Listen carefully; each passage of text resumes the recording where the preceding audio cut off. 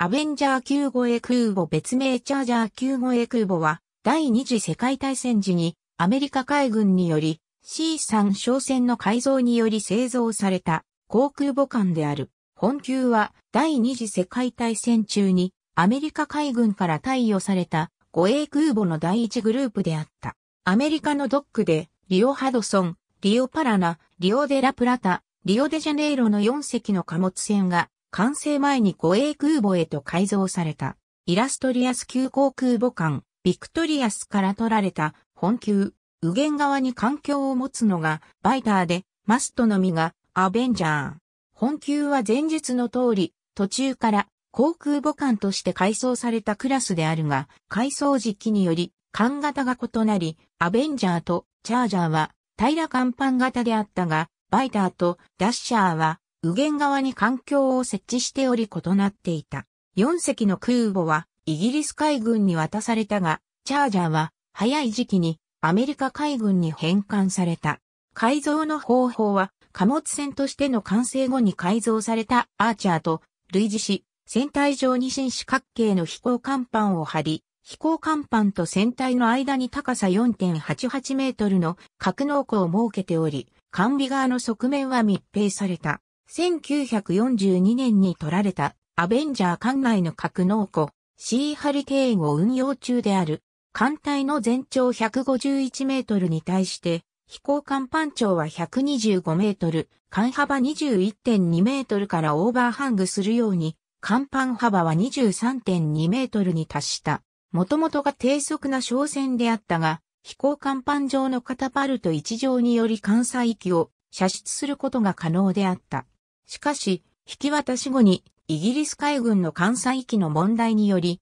飛行甲板の長さを134.7メートルまで伸ばす改良が実施されて、収益時期が伸びた。飛行甲板の中央部には格納庫から艦載機を運用するための縦12.8メートル10.4メートルの5.4トンエレベーター1機が設置されていた。統治作戦の支援時の1942年10月16日にアベンジャーでシーハリケーン6機を甲板上に硬いま示している。アメリカ式の護衛空母は飛行甲板のスペースを阻害しないように張り出しを設けて対空火器を分散配置しているのが特色である。もともとが民間の商船であったために武装は船体上の空きスペースに分散配置するしかなく、対艦用にマークス90.2センチメートル速射砲を張り出しを設けて、監視甲板上に並列で2機、完備に1機の計算機を配置した。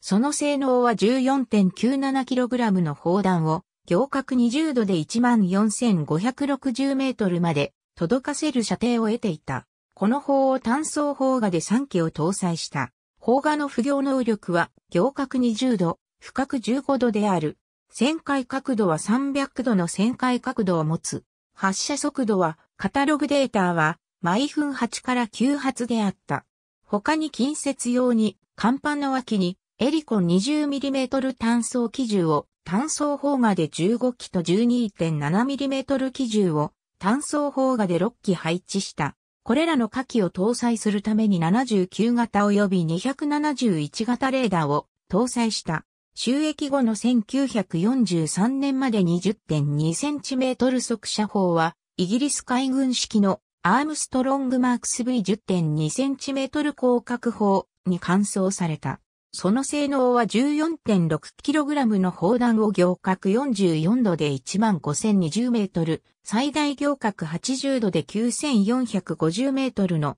高度まで到達させることができた。これを単装砲画で3機を搭載した。砲側340度の旋回角度があったが、実際は上部構造物により社会に制限があった。方針の不行は、行角80度、深く10度で、発射速度は、毎分15から20発だった。本艦の機関構成は、ドックスフォード式2サイクル下級6気筒ディーゼル機関2機を、電磁式クラッチと一段減速ギアで接続して1、軸推進で8500馬力を発揮し、速力16.5ノットを発揮した。爆炎を吹き上げて爆沈したアベンジャー。イギリス海軍に残った3隻のうちアベンジャーは1942年11月15日に連合軍による北アフリカ上陸作戦支援中にドイツ海軍 U ボート U155 の来撃を受けて爆弾庫が誘爆して爆沈。ダッシャーは